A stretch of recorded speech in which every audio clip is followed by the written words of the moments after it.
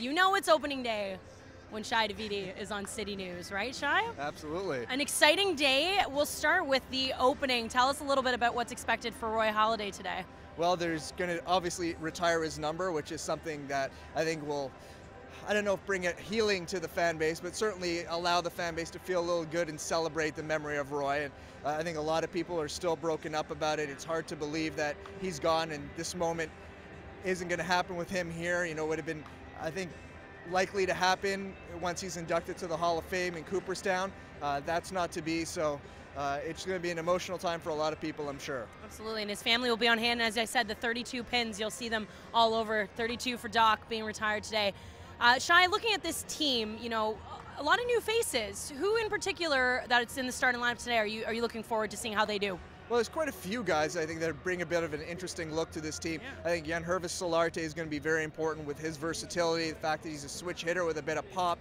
You know, if you if you kind of frame his fly balls last year at Petco Park against the Rogers Center, his power should play up here. Right. A few extra home runs in there, perhaps. Uh, but Randall Grichuk, I think it, it, it may end up being a bit more important. He's a guy who can really be a dynamic player. He's got all the tools, a great athlete, has a lot of pop, a great defender uh, but he hasn't put his game together to this point. He's still young, so there's reason to believe that he could still do it.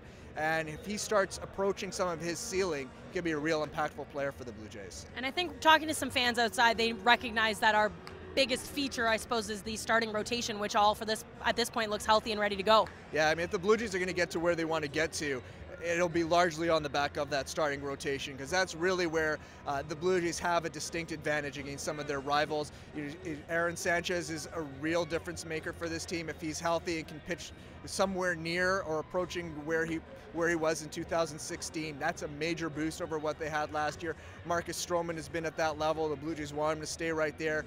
J Happ uh, can really carry a load. Marco Estrada has been reliable to them, and, and Jaime Garcia is someone that fans may not know so well most of his career in the National League, uh, but he's got a chance to be a reliable innings eater. So if they perform the way that the Blue Jays expect them to, then this team should have a chance to contend for a postseason spot.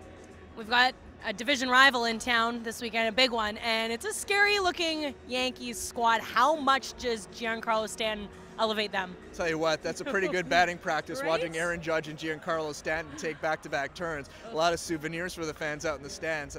Uh, look, I mean, it was already a very difficult lineup to pitch to, and you just you consider as well they have Didi Gregorius and Gary Sanchez. Uh, there's just so much pop across that lineup. There's so many impact bats. They can really do a lot of damage in a hurry. It, it's going to be very tough for opposing pitchers. So uh, I I think they very well might win the American League East. Uh, they're going to be a, a real dynamic team in the postseason, all things being equal. They have some questions in the rotation. It's not maybe as elite as some of the other ones in the league, and I think that's where some of the issues for them may arise.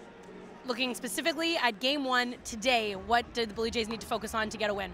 Uh, don't let Stanton and Judge bash you into right? oblivion. Uh, if J Happ has the kind of outing that J Happ can have, uh, they're going to be right in there. But I'm really curious to see how this lineup works. Yeah they, they, they, scored the fewest amount of runs in the American League last year. Uh, if they don't improve that in a, in a, a significant fashion, it's going to be a very tough season. Absolutely. All right, well, hopefully it's a better month than last year, of course. A tough one for the Jays to start last season. Thank you very much, Shi. I'm sure you'll see seeing a lot of each other in the coming days.